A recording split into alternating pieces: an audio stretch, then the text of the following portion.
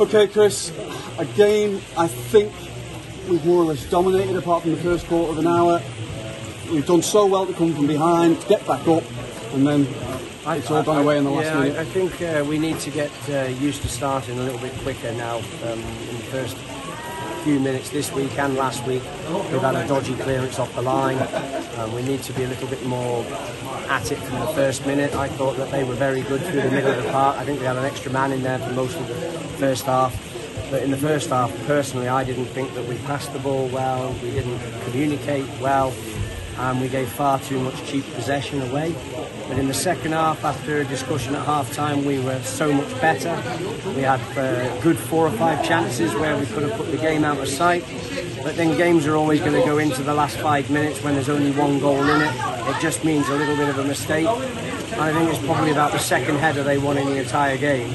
And it just bounced through. Instead of us pushing out, we dropped off. And someone's just hit a speculative half volley from about 25, 30 yards. Dean, Dean, to be fair to Dean, got a hand to it, but just couldn't keep it out. It's it's a little bit disappointing, but it goes back to everything that what this league's about. Just at the moment, any team in this league can be beaten by any other team, and you've just got to stay so switched on right to the end. But overall, we've got to be happy that you know, it's another point gained rather than you know losing three points by losing the game.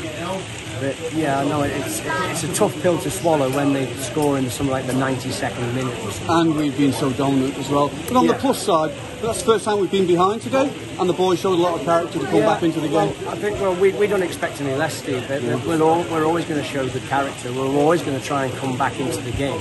The good thing about that is the way they were dominant the spells in the first half and the way they played some ball through the gaps. It meant that we could have easily gone down two, two, three, and then we could have all been looking uphill all afternoon. But fortunately for us, we came back into it, and we should have really seen the game out. That's what I'm a little bit sorry about.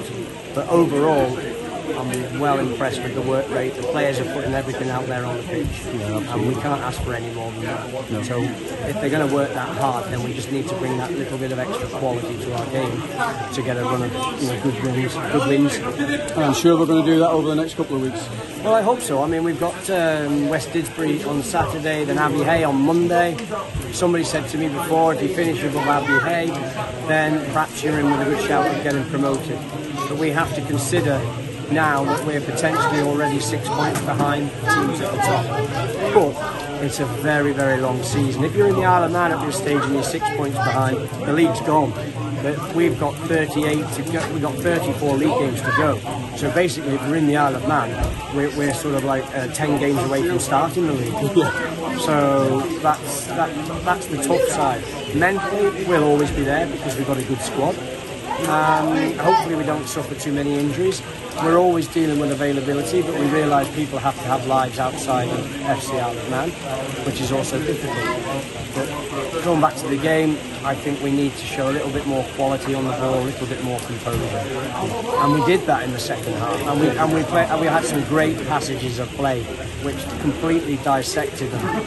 But you know, we need to finish those off. Thanks very much, Chris. Just We'll go thank you again. very much. Yeah, thank you.